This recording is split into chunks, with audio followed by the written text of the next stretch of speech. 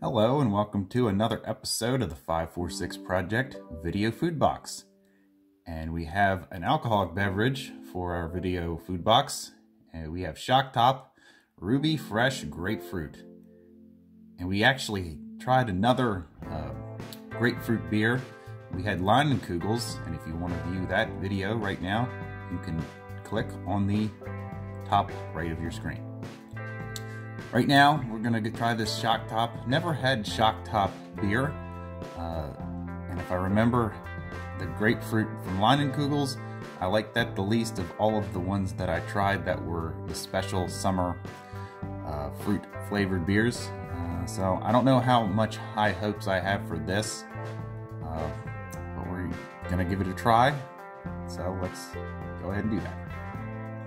So when uh, actually uh, taking a smell of the uh, shock top, it's not a very strong grapefruit uh, smell.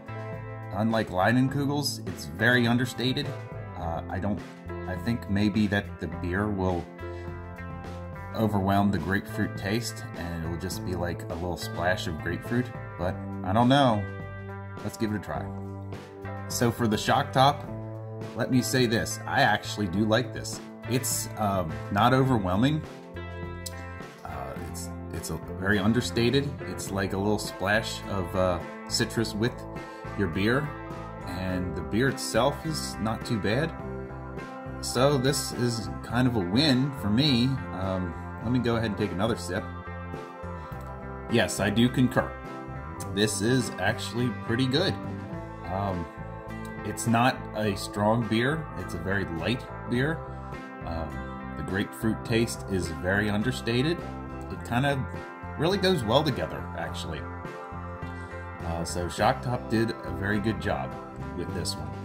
Now, if I have to give it a number grade, 1 out of 10, I'm going to give the Shock Top Ruby Fresh Grapefruit, I'm going to give it a 8.5. An 8.5 for a nice, refreshing summer beer. If you want to sit out on your porch or your patio and pick this up. This was actually $8.49 for a six pack, so it's not, it won't dent your wallet or anything. And it's kind of uh, one of those uh, beers that you can easily drink too much of this and not even know how much you've drank. So it's kind of an understated, uh,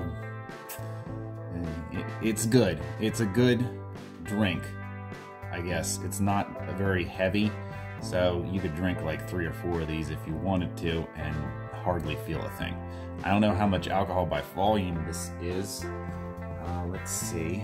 Uh, 5.2, so it's not, it's very not, it's not overwhelming at all in that regard. So the shock top gets a uh, passing grade from me.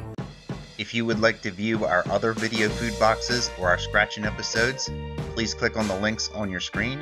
If you would like to subscribe to our YouTube channel, click on the link on the center of your screen. If you would like to view our Twitter and Facebook pages, the links are in the description below. Thank you very much for watching and have a wonderful day.